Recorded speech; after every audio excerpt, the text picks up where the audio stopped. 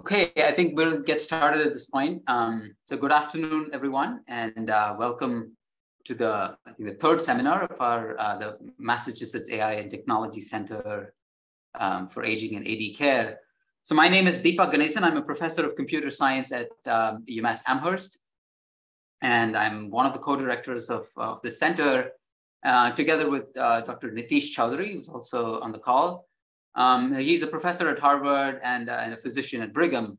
And so on behalf of both of us, as well as all the other members of our executive committee and our center, I'd like to welcome you all to this, uh, to this webinar.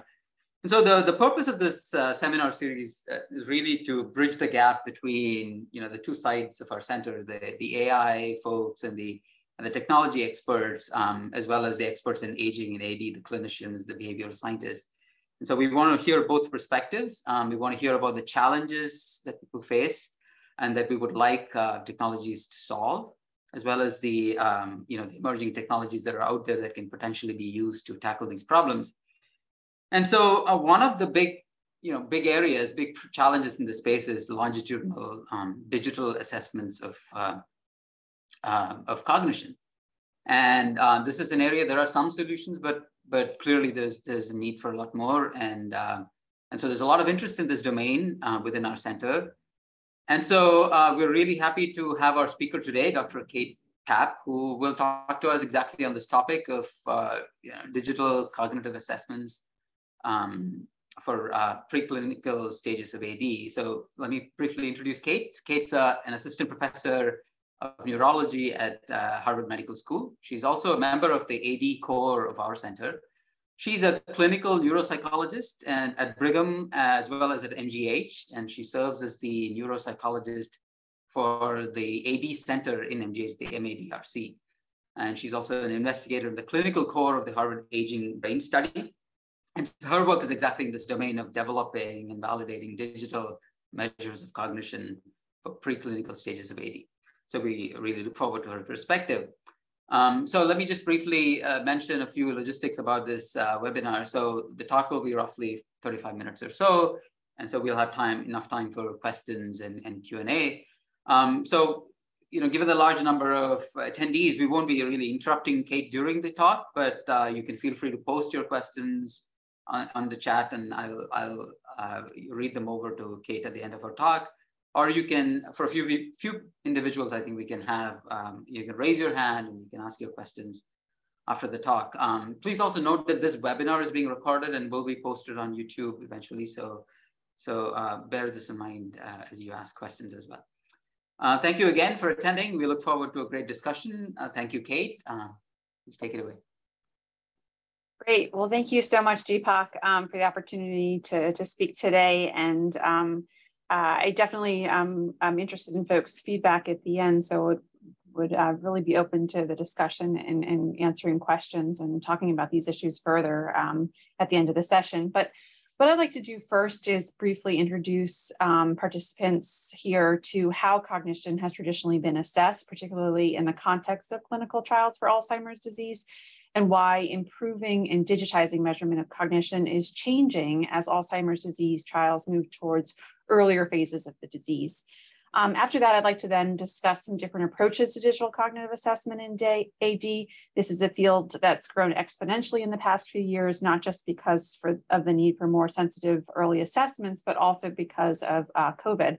Um, and there's several different approaches to using technology um, that I think are worth reviewing. Um, and while there's a lot of interesting work out there on things like passive monitoring, um, computer usage, you know, steps, uh, actigraphy, other biometrics, this is a really broad field um, and too much to cover today. So what I'm really going to be focusing on is active measurement of cognitive function. And so after I review some of those different approaches that are being used, what I'd like to do at the end is to focus on um, my own work or group work from our group, which is looking at capturing short-term learning curves and discussing how this approach in particular might be um, uh, really ecologically valid um, uh, and a way to capture subtle memory changes um, in the preclinical stages of, of Alzheimer's disease. Um, so with that in mind, just to level set, because I know there's people um, from a lot of different fields that are on the call today, uh, cognitive assessment is a way to uh, quantify various cognitive functions like memory, language, reasoning abilities um, using standard measures as well as standard administration and scoring. These assessments are most often done in person and in the clinic. And the goal of the assessments differs depending on the setting. So, in the clinical setting, um, the goal is usually to aid in differential diagnosis, to diagnose somebody with um, uh, cognitive impairment or uh, dementia uh, due to uh, Alzheimer's disease or other types of etiologies. Whereas in the research set, uh, setting, cognitive assessments have slightly different goals. Um, they're often used to help select study populations as well as to determine the safety or the efficacy of a treatment or intervention um, within a clinical trial setting. And then, of course, there's natural history studies that are looking at uh, associations between cognition and, and a host of other different factors. These are some examples of traditional paper and pencil cognitive measures for those that are not familiar with them on the right, um, as well as some example data uh, from a clinical assessment or the types of metrics that you get on the left. So cognitive assessments by definition are labor intensive. Uh, they require one rater who's testing one individual. Um, they're also uh, expensive. Um, you have a, a highly trained uh, rater. Uh, most of these measures, even though a lot of them have uh, been around for a long time, are proprietary and they're you pay per single use. Um, and there's also a certain degree of bias that's involved um, in these types of assessments um, in terms of uh, variability uh, between different raters, different uh, sites, in their administration of the test as well as in the scoring. So it's even though there's this standardization procedure and that's at the heart of it, um, there's still a lot of room for variability in this type of assessment. And these issues are particularly relevant when we're talking about capturing very subtle changes in the preclinical stages of Alzheimer's. So as we all know, Alzheimer's disease involves a protracted uh, asymptomatic phase. It starts with the accumulation of amyloid um, uh, plaques and tau tangles, um, followed by subtle yet increasingly persistent cognitive decline as the disease progresses. And so the ability to more easily observe these abnormal AD biomarkers in vivo, that is through either uh, CSF or PET imaging, and then more recently through plasma markers, has really provided the opportunity now for early detection during the preclinical phase of disease. And it's really accelerated uh, secondary prevention trials, which are occurring around here, and that uh, which try to uh, slow or uh, prevent uh, cognitive decline at these very early stages. So this period of secondary prevention. And so these are targeting individuals who um, may have these abnormal AD biomarkers, but they're otherwise clinically unimpaired. And when you look at adults over 65, um, about 30% of, of, older adults actually have these elevated AD biomarkers. Um, and capturing uh, initial evidence of this subtle cognitive decline remains really elusive. So this is data across um, multiple cohort studies showing the really slow progressive cognitive decline over years that occurs in these unimpaired individuals who have biomarker evidence of Alzheimer's disease. So there's people who have normal levels of amyloid and then uh, elevated levels of amyloid. And you can see at the cross section across all of these uh, plots and different cohorts, there's minimal differences in cognitive performance between those with and without elevated amyloid. But then you can see that declines um, are, are observed, but they're only reliably observed after three or four years of follow up um, using paper and pencil measures that are uh, given in the clinic every six to 12 months. So, right now, to determine whether a certain intervention, such as a new medication, may lead to cognitive benefit, um, there needs to be a very long study of four or more years and a very large sample sizes, so a thousand individuals or more. And this obviously clearly impedes uh, the search for um, more uh, uh, for treatment from both a cost and as as well as a time perspective. Um, so uh, right now, though, the majority of the secondary prevention trials that are ongoing continue to use these paper and pencil cognitive assessments to both select individuals and track them over time. And this is a table that's outlining the clinical outcomes in 80 trials from 2018, but these uh, measures are still the, the gold standard of measurements that we use today. So um, just to be more specific about the these challenges um, that these uh, that we have in terms of detecting uh, subtle cognitive changes using these traditional measures are mostly that these measures are probably insufficiently sensitive. So they were really designed to detect frank impairment in clinical populations, not the subtle changes. They capture these gross metrics of performance like accuracy or time to completion. Um, but you know, a reaction time test uh, also involves the reaction time of the examiners of how quickly they they hit this the start button to how quickly they hit the stop button, and we're not capturing really nuanced information. Um, and then when they're administered uh, at a single time point every six to 12 months, um, we know that the signal uh, uh, uh, or our ability to detect change over time um, is obscured by the natural variability that we observe in human cognitive performance, things that might impact any uh, person's performance on any given day, like mood, stress, uh, time of day, as well as other factors.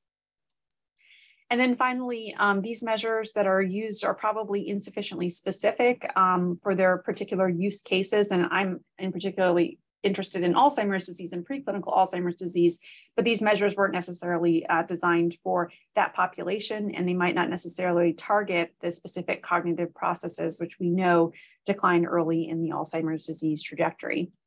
Uh, so with this in mind, there's a recent review uh, that came out by Öhman and colleagues, and it helped to provide sort of a lay of the land for digital measures that are specifically designed to capture cognitive changes that occur at the preclinical stage of Alzheimer's disease. Now, these digital tests um, shown in this figure um, vary in terms of their hardware. So some of them are cognitive apps, some of them are web-based, used on any device with internet, while others are more novel platforms like digital pens, eye tracking, and virtual reality. But regardless of the hardware, there are a number of different theoretical approaches um, that they they ascribe to, um, which are uh, aimed at improving early detection. So the first of these is to harness the potential of big data collection and AI or deep learning. Uh, the second is improving the reliability of assessment through more frequent testing, something called ecological momentary assessment. And the third is targeting cognitive processes that are more specific to preclinical AD. So uh, the last, which I'll focus more on, is uh, using serial assessments to identify decrements in learning.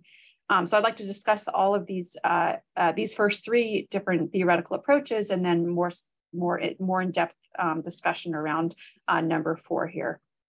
So uh, a popular approach to improving early detection is harnessing big data. So this is an example of using a digital pen, um, but the same approach has been applied to other types of big data like speech, which I'll talk about in a moment.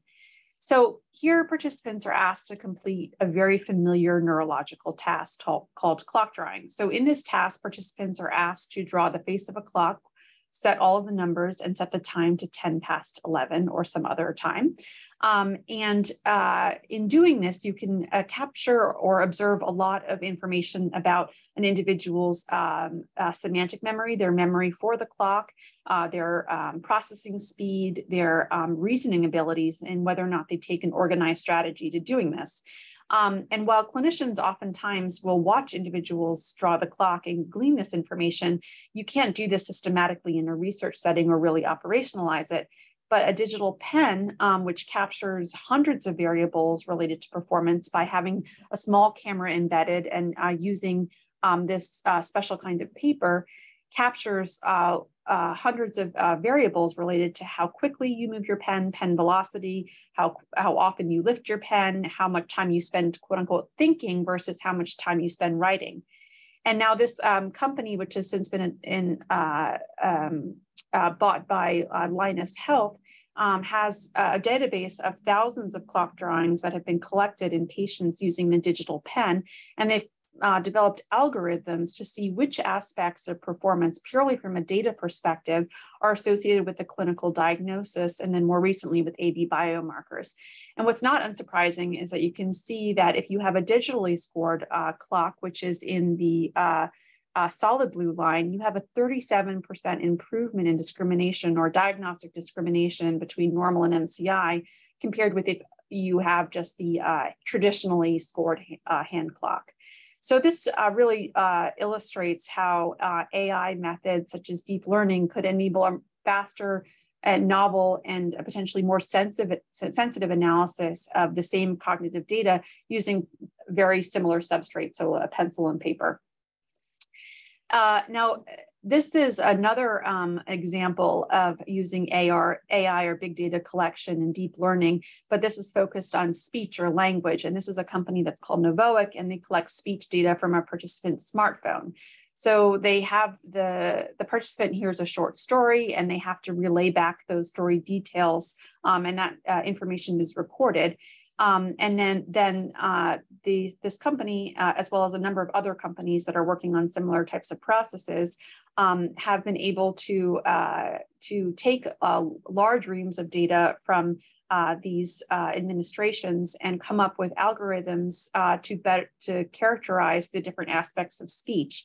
Um, and then they've compared um, their AI algorithms, algorithms, which are in blue on these graphs, versus paper and pencil cognitive measures in terms of their ability to classify individuals. So you can see that these this type of uh, uh, technology uh, of, of uh, capturing story memory is quite good at uh, identifying individuals who have mild cognitive impairment or mild AD. So this automated system that's done on a smartphone is equivalent to a 45 minute long in clinic PACC5 paper and pencil assessment. And so that's a, a, really promising finding. But you'll notice that it's not as sensitive uh, uh, at, at this point yet in terms of identifying individuals who have abnormal AD biomarkers. Now, uh, another um, approach uh, to improving uh, cognitive assessment with digital uh, measures is ecological momentary assessment, or what's called burst testing. And here, participants are administered a series of brief tests multiple times per day on their own device. For example, they may get three different tests administered four times per day for a few days. And then by averaging performance over these multiple assessment uh, time points and tests, the hope is to obtain a more reliable or less noisy measure of an individual's cognition. So you can see a visualization of this on the top right, um, where by decreasing the noise in an assessment, we may be better able to capture uh, true change over time. I think this is a really promising approach. One challenge here is that um, there are issues related to adherence of getting folks to um, perform multiple tests, even if they are short and brief, but getting them to do that consistently across multiple days um, is a, a, challenge to this type of approach. Um, and then another example is uh, targeting cognitive processes more specific to preclinical AD. So pattern separation or mnemonic discrimination is a concept from the cognitive neuroscience literature, and it's defined as the ability to discriminate among similar experiences. So research on pattern separation um, has shown that it's particularly reliant on the anterior temporal lobe, and that's a region of the brain that um, uh, is susceptible to Alzheimer's disease pathology. So uh, it makes sense that decrements in this type in performance on these types of tasks may really help us uh, capture the subtle memory changes that are occurring in, in Alzheimer's. So this is a, an app that was developed by David Berron in Germany, and it has tasks which tap into this pattern separation um, uh, cognitive function. And the hope is by uh, using this more targeted type of assessment and uh, using it on a, a, mobile device that we can get at these more subtle changes. And then the last approach that I'd like to talk about more in depth is uh, uh, digital cognitive assessment using serial assessments um, to identify decrements in learning. So you might remember uh, this graph from earlier in the talk, and this is data from the Harvard Aging Brain Study. And something that um, we found particularly interesting when we started the study uh, back in 2011 or 2010 is um, we gave individuals the same story memory task, logical memory, once a year. And what was fascinating is people would come in the next year and they'd actually remember the story from the year prior. And if you look at the data, people don't decline on this task over five years, but they show this continued improvement. So each year they come back, they know more details of the story. But what's really fascinating is that these individuals who have elevated levels of amyloid, while they get better every year at the test, their improvement um, is does not match that of their peers who don't have these elevated amyloid levels. So um, we you know, these learning or practice effects have long been observed um, in uh, uh, uh, traditional cognitive measures, but they've generally been considered something that really obscures our ability to see decline. But what we've thought about, and, and we're not alone in this, is thinking that diminished learning curves could offer a more unique cognitive signal that could be exploited to capture um, meaningful cognitive changes, and particularly doing that over shorter intervals. So given these findings that we found from this observational study, we wanted to see whether uh, diminished learning curves or reduced practice effects can be captured over a much shorter time interval and whether this can be done remotely or in unsupervised settings. Uh, we were interested in whether these uh, uh, um, subtle uh, uh, cognitive decline um, on, on these uh, learning curves was related to traditional measures, whether they were associated with AD biomarkers, and whether um, they could predict prospective cognitive decline. So we started interrogating this um, by uh, administering the C3, and we uh, partnered with Cogstate, which is a company that um, uh, measures cognitive function. And we used their um, brief battery, which includes card playing tasks, as well as implementing two other um, uh, behavioral neuroscience tasks, the pattern separation task, which I just previously described, um, as well as a face name associative memory exam. Um, and so um, we administered uh, this uh, C3 um, on an iPad um, in people's own homes. So we were able to uh, get 100 iPads and we gave um, these iPads to 94 clinically unimpaired older adults. And we had them complete this testing at home um, each month uh, for up to uh, one year.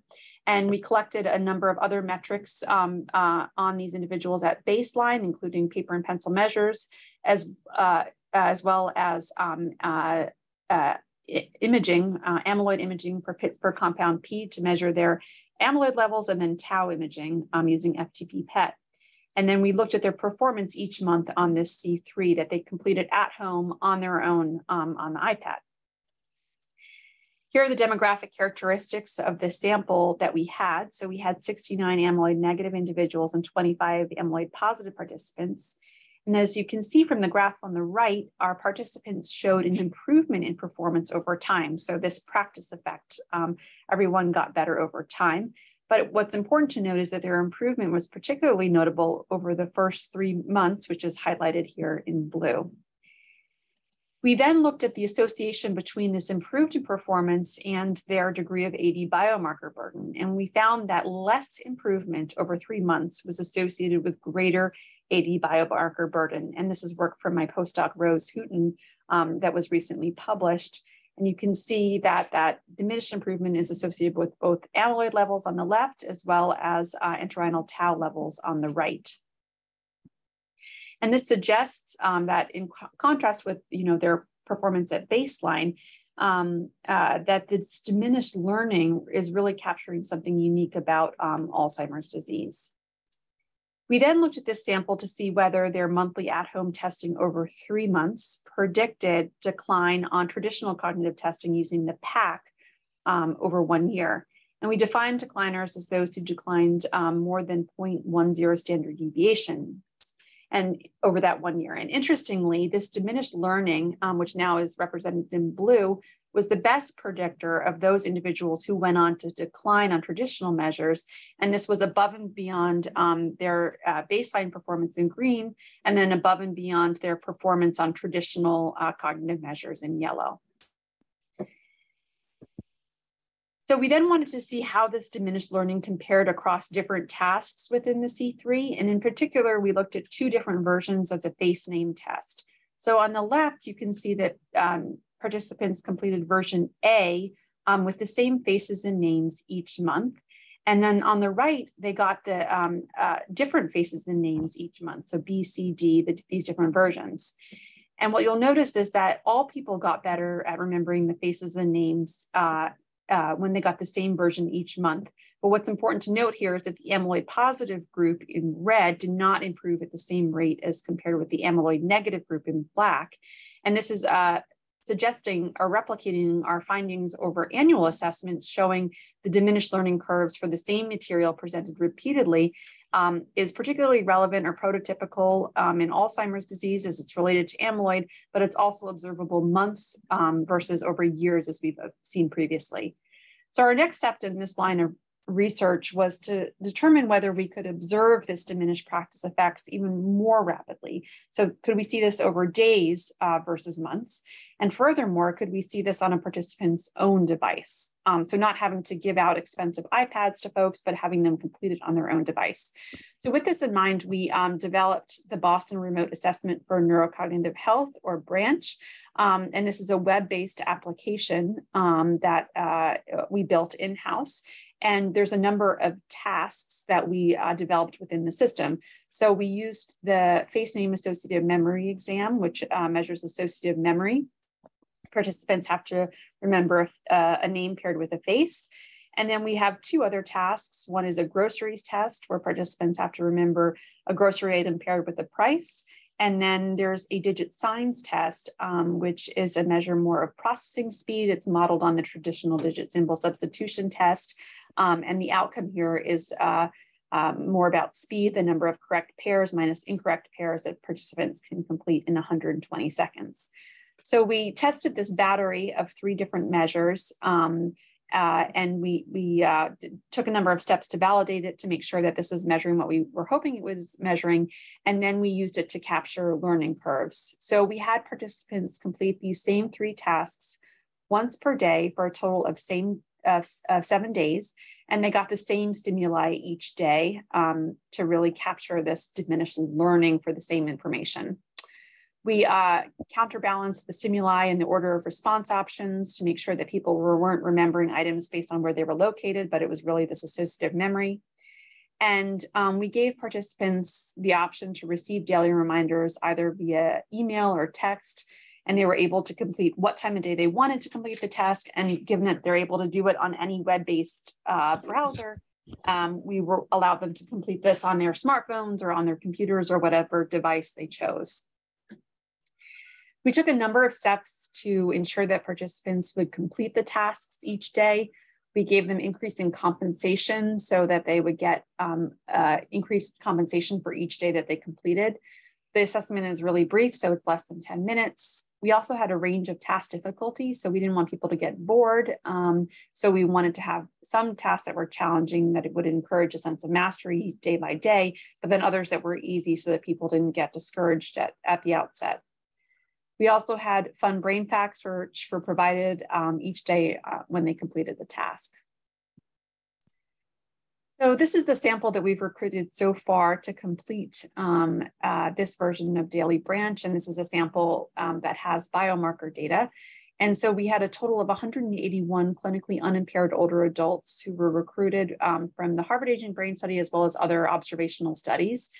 Um, 145 of these individuals um, were classified as amyloid negative on the left, and 36 on the right were classified as amyloid positive. So those are people who are at risk for Alzheimer's disease. And in addition to completing branch, um, participants had undergone in clinic paper and pencils testing using the PACC-5, um, and there was a composite score that we computed uh, based on their performance on this conglomerate of tests. So adherence to the multi-day testing was quite good with 95.7% of uh, the sample completing all seven days of branch. We didn't see that there was any relationship between the participant characteristics like age, sex, race, or education and their um, uh, completion rates, which was uh, important that feasibility seemed to be uh, across these different demographic groups. And then um, what we found interesting was that uh, individuals actually showed an increase in their uh, rating of enjoyability of the tasks over days. So people seemed to like the task more as they went on, perhaps because they got better at remembering the different items. And like I said, we gave folks the option to complete this on their own device. And within this sample, 55% used their computers, whereas about 45% used a smartphone uh, to complete the task. And in our initial validation steps, we wanted to just see, you know, is what we're capturing on uh, an individual's own device comparable to what we're capturing about their cognition in the clinic. And we were really heartened to see that there was a pretty good correlation between um, how people did on the branch tasks on the y-axis, so that's this composite of, computerized tests, versus how they did on in-clinic testing. So this is an R of 0.6. Um, uh, shows that, that, you know we're capturing you know uh, relevant information, and it didn't seem to differ in terms of whether people completed the tasks on their computer or on their mobile device. So next we started looking at the um, curves over time. And so this is um, the multi-day learning curve. This is a composite, and you can see this is the type of data that we're capturing about their performance over time. Uh, and then the next thing we wanted to see was, um, you know, how um, our amyloid positive versus negative participants performed in relation to each other. And this is our top line result here. And we found that while there was no difference in performance between our amyloid positive or amyloid negative groups at day one, we did observe this group separation between amyloid positive and amyloid negative individuals over time with an overall effect size uh, uh, of median magnitude of a Cohen's d of 0.69. And so I think this replicates our earlier findings, um, but it also shows that this AD biomarker related signal in cognition can be detected over days versus months, that it can be detected across multiple memory measures, and that it can be detected in the home environment with a, a personal device. Um, there's obviously a lot more work to be done um, uh, with this uh, type of um, uh, work. Um, uh, in particular, we want to see how these um, uh, these curves operate over time. So we, we're, getting a, a sprint of cognition now, but we want to uh, capture these sprints at repeated uh, time points and seeing if we can uh, more accurately capture cognition over time by getting this type of data at, at multiple um, intervals. And then obviously want to also extend this to um, uh, seeing whether this is feasible in individuals who might have some cognitive impairment uh, as well. So um, I think there's also a number of other um, practical applications for these types of, of learning curves to clinical trials as we develop them. Um, I think that they can be used in combination with biomarkers to develop individualized risk or prediction metrics, which could facilitate um, screening folks into clinical trials. Um, I think if we can capture uh, uh, failing memory more quickly, we can then more rapidly assess the efficacy of um, more novel agents in the earlier phases of clinical trials. Another uh, possibility is that we can monitor cogni uh, cognitive safety more remotely. So there are some of these medications that are being used in Alzheimer's trials that have not been completely benign. And if we can um, measure cognition using these methods remotely, um, that's a, sort of another way to, to improve the efficiency, reduce cost, um, uh, and, um, and improve safety in these trials. And then I think um, most promisingly, um, these learning curves could potentially be used as an interim outcome um, that later predicts uh, a clinically meaningful endpoint. Um, so, uh, you know, again, um, uh, increasing the, the speed and agility of clinical trials. So, um, uh, you know, overall, digital cognitive assessments you know there's there's been a lot of interest in in smartphone based assessments in particular in research and i think i've already touched on a lot of these points where um, you know by using these types of digital assessments we can reach a lot more individuals over more shorter in, uh, time intervals uh, we reduce the administration and scoring errors as well as the the burden um, uh, uh um, the cost burden and the time burden we can also potentially increase signal to noise ratios by having this really much more standard administration and scoring. There's some ideas that these might be more ecologically valid um, measures because we're testing people in their home environments versus uh, in the false constraints of a clinic. And then by um, doing these things remotely, we have the opportunity to use these more sensitive paradigms like the learning curves um, uh, that we can't bring people into the clinic every day to do these types of tests. Um, but you know, there hasn't been at at present widespread adoption of uh, these digital cognitive measures within the clinical trial setting, and I think um, there's a number of, of uh, uh, steps that need to be taken before this happens. A, a big part of this is uh, validity. So, are we measuring what we think we're measuring? Um, you know, are these measures corollaries to gold standard measures? Um, and then even more basic questions when we um, test cognition remotely, um, is the person who's part of the study the person who's taking the test? So um, is that, or are they getting help from others? Um, you know, and, and, these things are, are critical, especially, at, you know, in, in large phase three trials where it's really critical that, you know, the person that you're testing is the, per, is the person who's a participant, but uh, also keeping in mind that we need to have protections on personal health information. So things like recording voice and taking pictures of photos also host, uh, introduces a host of other issues. So it's this balance between ensuring the fidelity of an assessment done remotely while also um, protecting um, uh, data and protecting an individual's identity. And then, um, you know, also uh, really critical is this link to clinical meaningfulness. So, you know, how does how you perform on some digital cognitive measure really relate to your everyday, relate not only to your cognition and non-standard measures, but does it relate to your everyday functioning? And that's uh, essentially what we're really looking at uh, getting at um, in these neurodegenerative diseases. So that's to say that, that I think that um, you know, the adoption of these digital cognitive measures is certainly something that's going to happen, but it is an iterative process. And um, in order to develop um, and, and to have these measures adopted, they, you know, they have to be related back to gold standards um, and, to, and to show both their validity and then also to link them to, to things we want to improve in everyday life.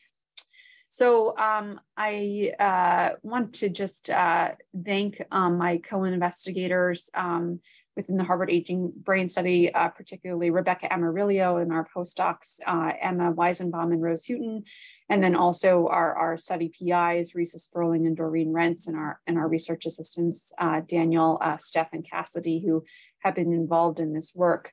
Um, and I'd be happy uh, to answer any questions. Thank you, Kate. That was a great, great talk. Um, so yeah, I think we'll move on to the Q&A. So if you want to raise your hand, please go ahead. Um, if you have questions to ask. And please also feel free to enter your questions in the chat box and I can read it out. So while we let people come up with questions, um, I, this was great. I think it was very informative as well. Um, and there's a number of, I think, questions here um, from my perspective. So um, let me Yeah, so let me just start things off while uh, while people uh, come up with questions. So I'm curious. I think just your perspective on the on uh, on the you know if you blue sky what what kinds of things where do you see the gaps in this in this space in terms of new is it the validation of the instruments that you've created or is it actually the the you know improved ways to measure digital improved ways to measure cognition longitudinally um, to deal with the learning effects and the and the variability. Where do you or is it is it in the ability to you know maybe adherence is is a problem if we go to the general public? Where do you see the the big challenges um, in this in this space? You know, I think a, a, major one is validation, but I think that that we're overcoming that um, with a number of funded studies that are that are looking at you know these correlations between these measures and um, you know, gold standards. Um, but, um, you know, uh, uh, I think another, you know, you know, as we another sort of step in validation is not just relating to gold standard cognitive measures, but to, to, relevant biomarkers. And I think that there's increasing opportunities to do that now that potentially plasma biomarkers are more readily available, and so that especially within the Alzheimer's disease field, that we can, um, you know, get uh, these biological risk factors for Alzheimer's disease more readily so that we can extend these validations to not just really specialized samples of largely clinically normal, very uh, non-diverse populations, but that we can extend this sort of more broadly. And then I think that speaks to another issue around um, you know, a, a, barrier, and this is also a barrier of cognitive assessment using traditional measures, is that um, you know there are studies that are happening across the country and the world, and you know, there's this real push to get much more diversity and represent, representation in these samples so that um, that we're um, really uh, curing Alzheimer's for, for everyone versus within a specialized group.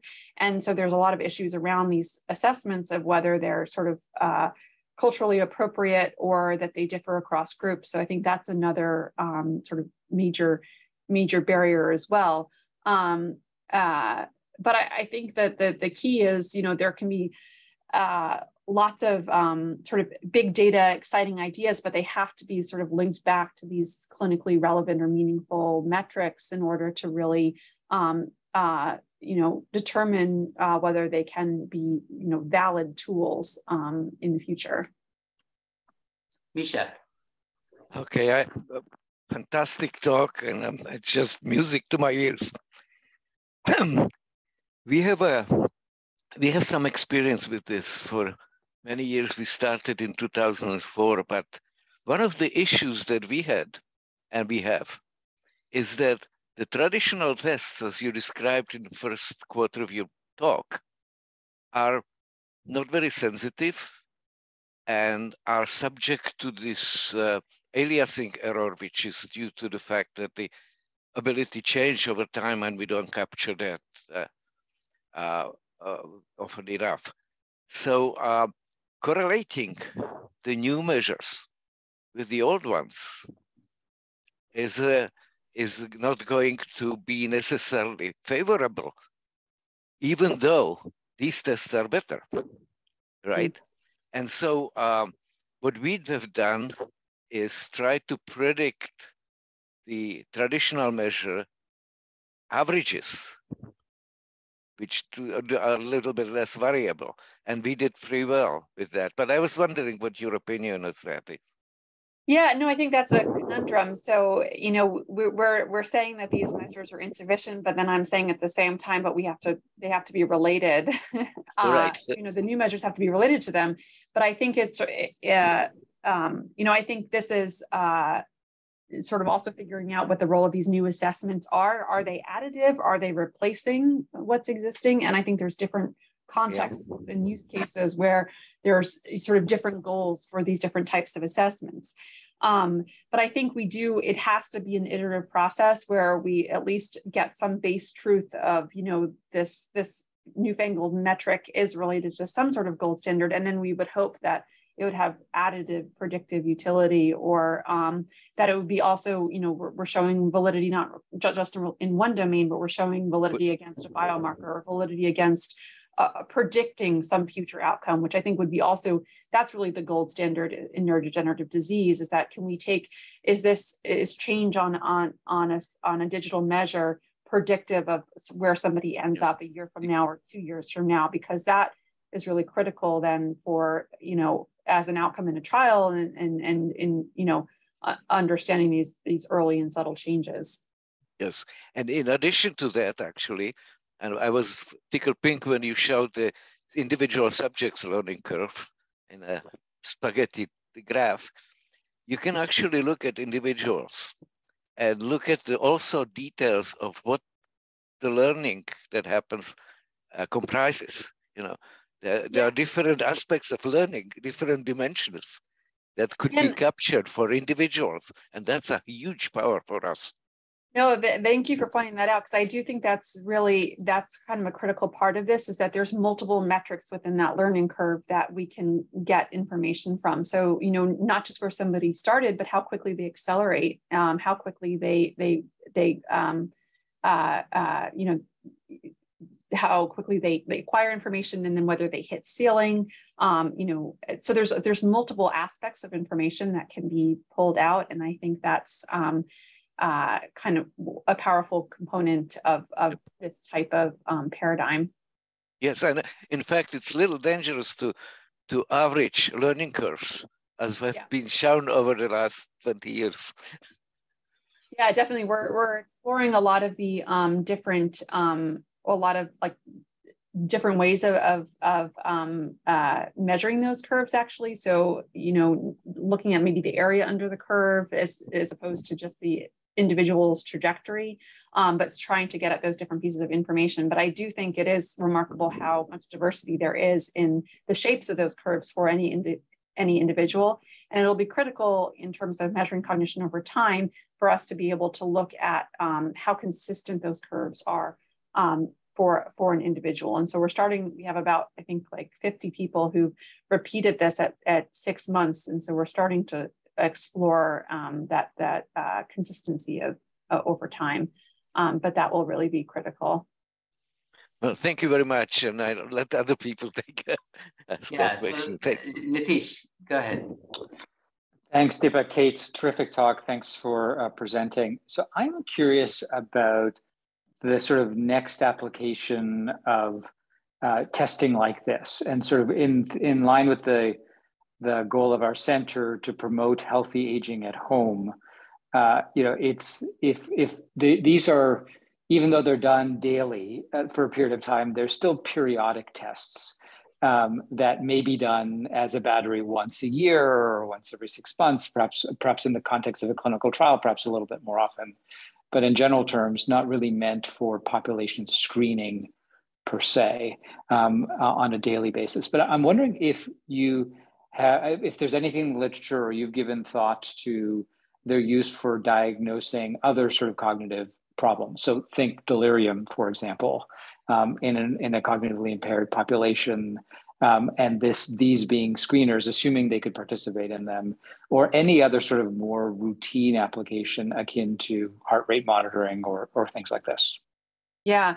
So I think one of the challenging parts of this type of assessment is that it takes a that there's um, there is a learning curve to be able to to use this. Um, so that um, you know it's not something that's passively collected like or you put on a watch and it, it takes the data, but it, you have to um, uh, you know log in um, and you have to complete it even though you're reminded you have to sort of navigate through the task and at this point i think we don't have enough feasibility data on whether this is something that folks who have a certain degree of impairment are able to do. I don't think it would be something that could be used in like in the context of delirium because it has this really, um, you know, you have to plan, even though you're getting reminded, you have to, there's volition and attention and a lot of other cognitive functions that are involved in, in, in actually just starting the task. And so I, I, don't think that kind of setting would be be uh, you know, it wouldn't be a sort of something that could be used in delirium. It would really be more for something for early detection. And at present, I don't think it's something that could be used for for diagnosis, but I do think it could be used at a higher screening level. If we can get a reliable sense of how stable people's curves are, it could be something that you do every six months. Um, I mean that, and and see what, what is the the change point where somebody is declining, and that could be something that could in the future alert someone. Um, uh, to uh, to to you know to to talk to their primary care or to a tertiary center. But I think the immediate use case that we're thinking about is uh, deploying this into what are trial ready cohorts, so groups of people who are interested in clinical trials and trying to get a sense of their cognition before they actually come in to the research uh, setting. Uh, so that's kind of the current current um, uh, trajectory that we see uh, for this type of work, um, but I could see it sort of expanding to broader populations in the future. Yeah, I just wanted to make one comment about that because I think also this is this is kind of in the middle range of detail. So it's more detailed than probably anything that anyone would be willing to do daily. You know, and and and and it needs that detail in order to have the subtlety that it has. You, know, you can't have a five point scale and get the learning curve in the same way as you can with something with as much detail. So part of it is a sort of precision level thing. Like in order to have the precision to look at a curve, you need something with enough Items. richness. Yeah. yeah. you need the richness of this. This isn't a three-hour battery, but it's also it's not a mini mental either. And even a mini mental people couldn't stand to do every day. Plus, they would they would not only know the answers, but they'd know the questions within a short period of time if they did it daily. So I think there's something about the structure as well. When you think about daily monitoring, that if it's not passive, it has to be incredibly easy. Yes. And this is this is not only not passive, it's something of a certain length in order to get the granularity that you need to look at these curves. I mean, it's it's in a sweet spot for that, it seems to me. Uh, that's a very good point. Let me take a couple of other questions from the chat. So Sarah asks, did the individual's computer competence impact their scores? Were all the participants already familiar with iPads? What did you do if they were not, and how did you assess their competence?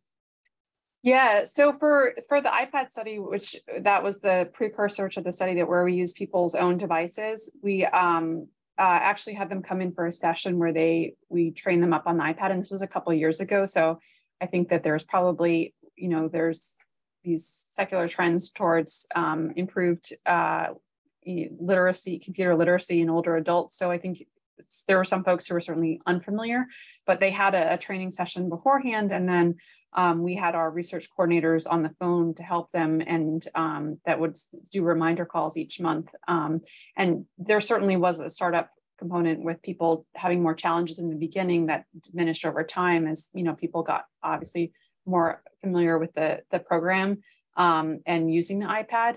Um, but the the phone based or the the web based one is much more user friendly in that you know they're they just click on a link they don't have to input any type of um, ID or anything else. It's just their own personal personalized ID uh, link that they get, and they, there's really it's required has required no training at all. Um, it, uh, uh, so that has been uh, easier. Um, uh, in terms of the question um, around around whether we assessed for competence, so we didn't. We did a survey asking people about their usage of computers. We haven't actually looked at that data yet, but we have looked within the branch data to see whether there were differences in performance based on whether people used computers versus phones, and we haven't seen um, any um, uh, differences there. But we have, there are some confounding factors in that the people who use computers tended to actually be older versus those who use smartphones.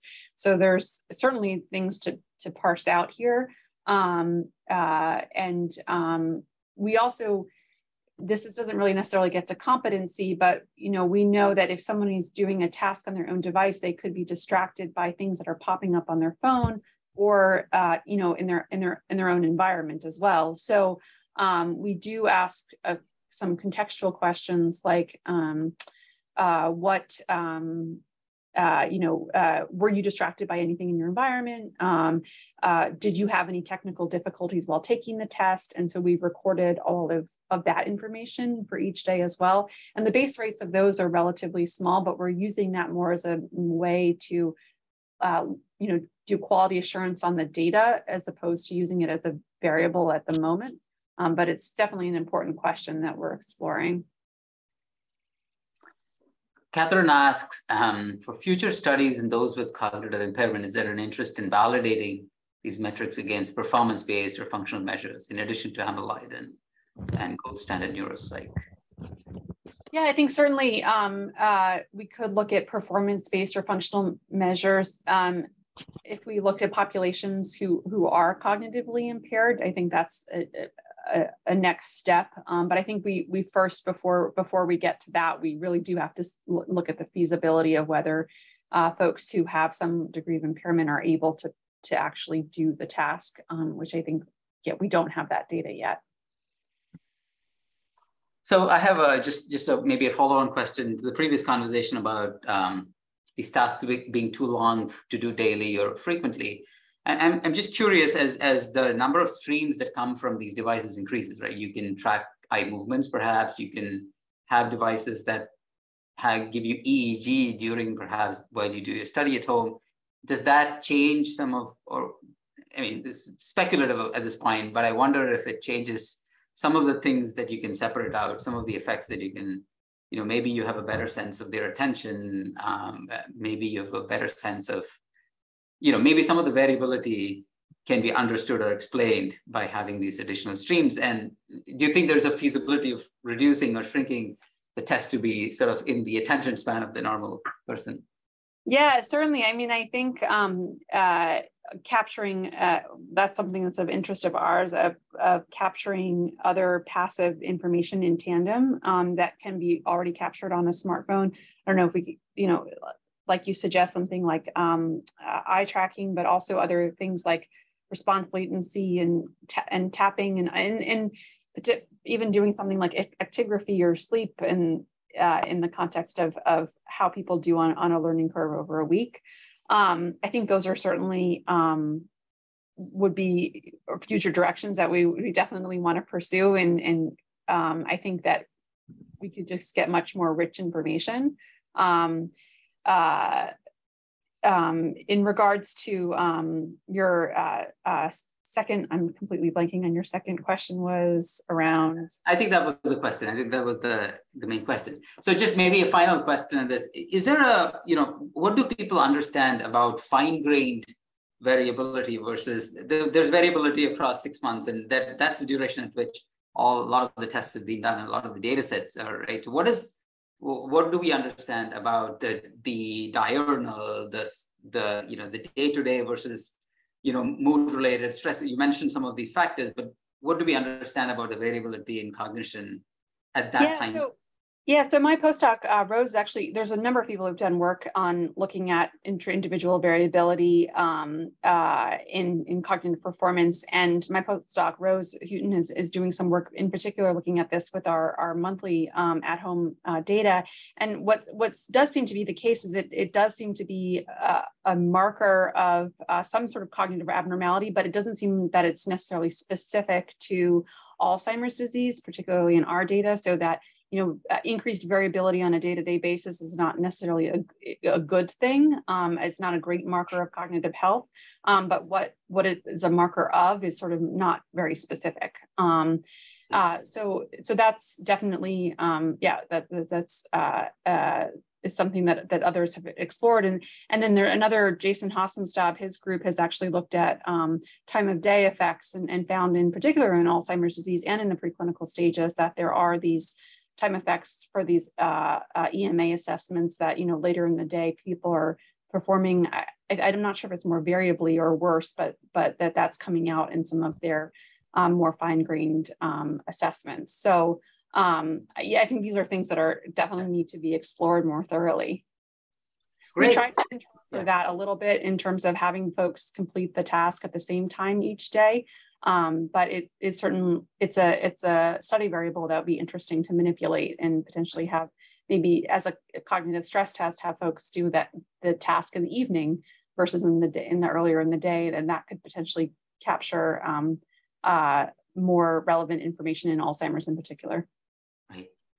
Great. Thank you. Thank you kate. This was a fascinating talk and, and obviously in a very interesting and important area um, thank you all for attending, um, and hopefully you'll you'll tune into our our next uh, webinar, which you'll get the advertisement for uh, from Jason. So thank you all, and and see you all next time.